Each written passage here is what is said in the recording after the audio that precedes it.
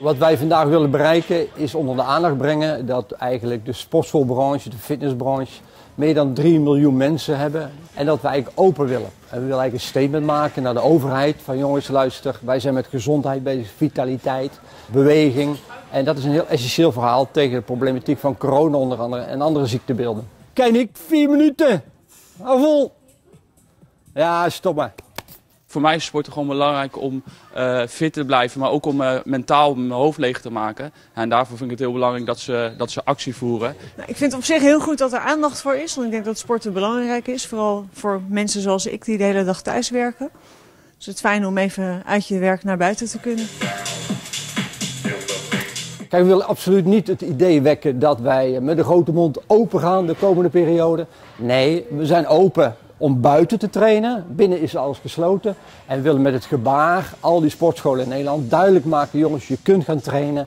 Kom in beweging, maar liefst gaan we natuurlijk binnen open. Zeker in deze uh, coronatijd waar het uh, ja, sowieso al wat lastiger is, is het wel heel erg lekker als je gewoon even in een sportschool kan rammen. Je hebt die mensen die je kent, dus je kan ook even lekker ouwe hoeren. Explosief, goed zo.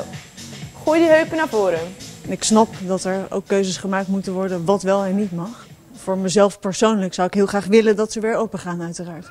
Ja, want je mist het echt. Ik mis het echt, ja. Hoe zwaar hebben de sportscholen het in deze periode? Nou, ik zal heel eerlijk zijn. Op het moment dat je natuurlijk als premium sportschool bezig bent, dan heb je eigenlijk gewoon echt kwaliteit. Kwaliteit wil zeggen dus veel personeel in dienst. En de NOE-regeling of de, de TVL, dat is allemaal beperkt. Dat is een soort noodverbandje aanleggen. Dat zijn lange niet voldoende kosten die gedekt worden om te overleven.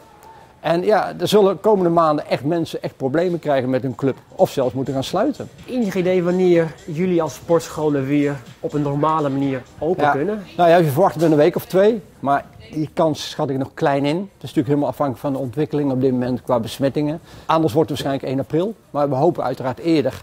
En nogmaals, kijk meer naar de langetermijnvisie van wat gezondheid op kan leveren. Dan de besmettingsgraad die mogelijk oploopt. En dat is denk ik waar de politiek zich druk over moet maken. En niet alleen maar met de verkiezingsprogramma's op dit moment uh, keuzes en mensen proberen te winnen.